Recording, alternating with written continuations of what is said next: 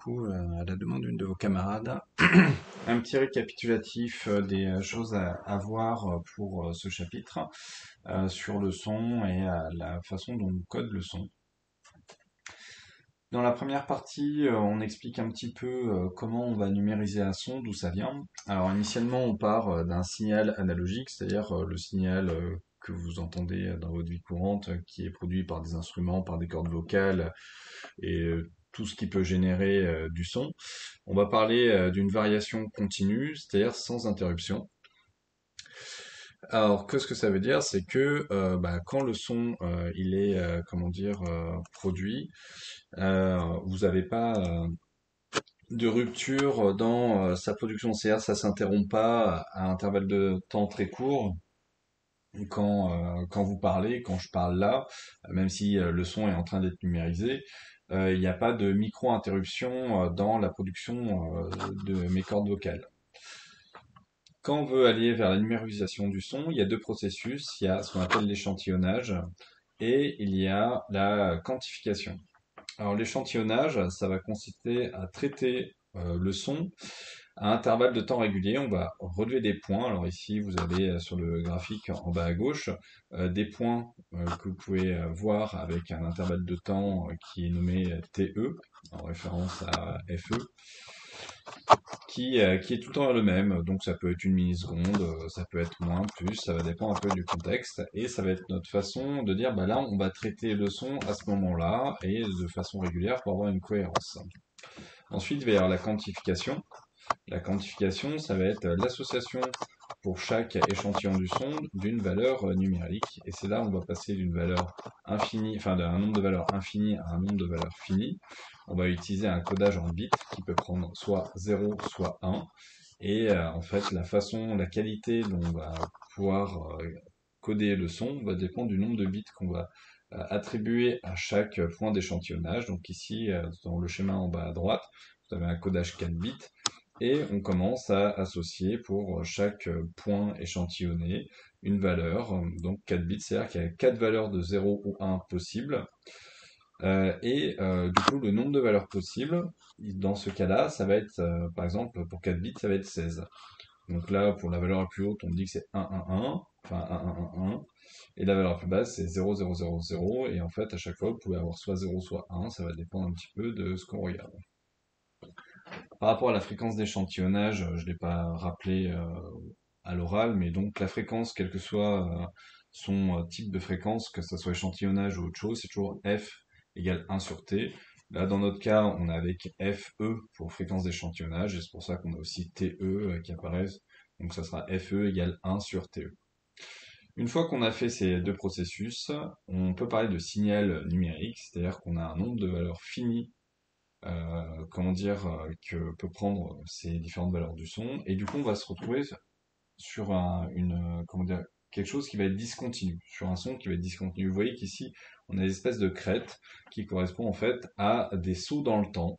Donc c'est pour ça qu'on parle de, euh, comment dire, de variation discontinue. Ici, avant l'échantillonnage, on pouvait tracer directement la courbe, alors que là, finalement, bah, c'est euh, on va essayer de deviner la courbe. Si la courbe rouge n'apparaît pas et si je dois retracer la courbe rouge, ça va être en fonction d'un nombre de points, euh, comment dire, déterminé, défini, limité dans le temps, qui va me permettre de pouvoir retracer euh, plus ou moins bien cette courbe-là. L'autre chose, c'est que la qualité du son, elle va dépendre de la fréquence d'échantillonnage et généralement, on va prendre appui sur les fréquences sonores qu'on a dans notre environnement et il faut que cette fréquence d'échantillonnage soit au minimum euh, deux fois supérieure à la fréquence du son. Donc si on a un son qui est en 20 000 Hz, c'est ce qu'on est capable d'entendre, il faut qu'on ait au moins du 40 000, et c'est pour ça que généralement on parle de son en 44 000 Hz euh, pour avoir une qualité suffisante. Sur la taille des fichiers euh, en lien avec la fidélité du signal, c'est-à-dire la qualité du son, on va s'intéresser à la façon dont euh, il est euh, stocké et euh, généré. La taille du fichier, le son qui nous intéresse, il s'exprime soit en bits, soit en octets, sachant que un octet, c'est 8 bits. Et il va dépendre de quatre facteurs. La fréquence d'échantillonnage, la quantification, le nombre de voix et la durée du son qui est enregistré. La fréquence, elle va s'exprimer en Hertz. Et dans ce tableau-là, on voit qu'on a trois types de fréquences qui sont notées ici. On a la quantification. Donc la quantification, c'est le n, c'est le nombre de bits. Ici, on vous dit soit une quantification en 8 bits, soit une quantification en 16 bits. Le nombre de voix, alors ça peut être une, deux, voire plusieurs voix. On peut avoir 4, 8 voix. Là, dans le cas du tableau, on n'a que deux. C'est possibilité, c'est une voix ou deux voix. Donc on va multiplier par 1 ou 2. Et ensuite la durée. Donc la durée, même si elle n'est pas présente euh, dans le tableau, euh, en fait ici dans ce tableau-là, on va calculer le débit. C'est-à-dire euh, le débit va prendre en compte la fréquence d'échantillonnage, la quantification, le nombre de fois. Donc j'ai mis en pointillé parce que ça, d'ailleurs, il y a un souci dans, dans hop, ah, pourquoi il fait ça?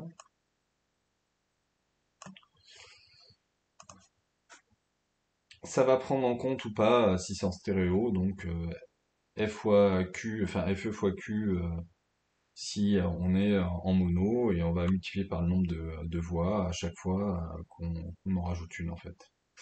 Et là ici du coup on a calculé par exemple 10 kilo octets par seconde, donc on a bien converti les bits en octets. Donc on a une voix, donc là ça sera 1. si on est en 8 bits, donc on a 8 fois cette fréquence-là, et euh, euh, comment dire, alors ici, euh, ils ont bien fait la conversion octet, kilo-octet, octet, mais que je prends pas en compte pour l'évaluation. Je vous avais expliqué que 1 kilo-octet, c'était 1024 octets. Et du coup, on retombe à peu près, si vous faites, on va dire, comment dire, 80 000 divisé par 8, eh bien ça fait bien 10 000 par seconde, et vous avez à chaque fois votre valeur qui se retrouve. Euh, j'ai une fréquence deux fois plus élevée, donc je vais me retrouver avec 21. J'ai une fréquence euh, quatre fois plus élevée, je me retrouve avec euh, donc 4 fois plus de débit. Et si je passe du mono stéréo, vous voyez bien que j'ai doublé mon débit nécessaire. Et du coup, si je multiplie le débit par le temps en secondes, et eh bien si ça dure 10 secondes, bah, j'aurai pour le mono en 44 100 Hz en 8 bits, j'aurai 430 kilo-octets par seconde. Euh, si c'est 100, ça sera 4300 kilo-octets par seconde, etc., etc. On peut également compresser euh, les fichiers. Alors, la compression des fichiers, elle n'est pas sans conséquence. Enfin, pas forcément tout le temps. On peut euh, juste avoir une optimisation de la taille des fichiers où, une fois décompressé, on va retrouver l'information initiale sans perte, mais on peut aussi avoir avec perte.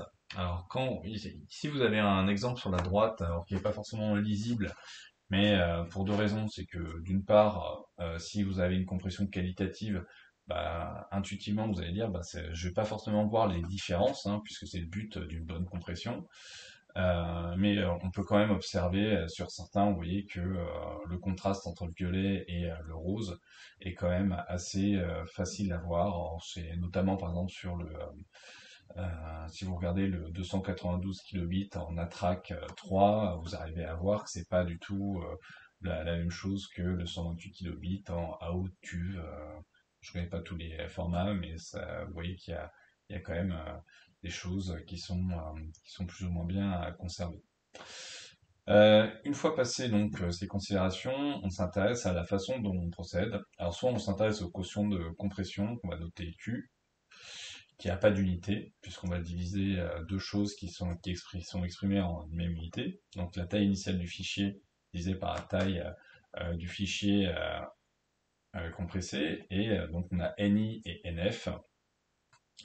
Et, euh, bien ça, en fait, ça va nous donner une valeur, euh, ça va être, euh, comment dire, on va être sur 16, enfin on va dire qu'on a compressé 16 fois, ou 15 fois, 30 fois, etc. On a aussi, comment dire, la possibilité de noter ça en taux de compression. C'est-à-dire, on va exprimer ça en pourcentage. Si on dit qu'on a compressé le fichier à hauteur de 90%, c'est-à-dire qu'on a réduit sa, taille de 90%. Donc ça, c'est noté taux. Donc ça va s'exprimer en pourcentage. on a 1 moins la taille du fichier euh, compressé divisé par la taille du fichier initial. Donc on va se retrouver avec euh, euh, une valeur qui sera nécessairement inférieure à 1. Et donc 1 moins cette valeur inférieure à 1, ça va nous donner par exemple, comment dire, si on a, si la taille du fichier compressé est 10 fois moins grande que celle du fichier initial, on va avoir du coup 0,1, hein, si on a 1 sur 10, ça fait 0,1, donc on va avoir une compression de l'ordre de 90%. 1 moins 0,1 ça fait 0,9 fois 100 ça fait 90. Voilà. Je pense que c'est à peu près tout euh, ce que j'avais à vous communiquer. Voilà, j'espère que vous en sortirez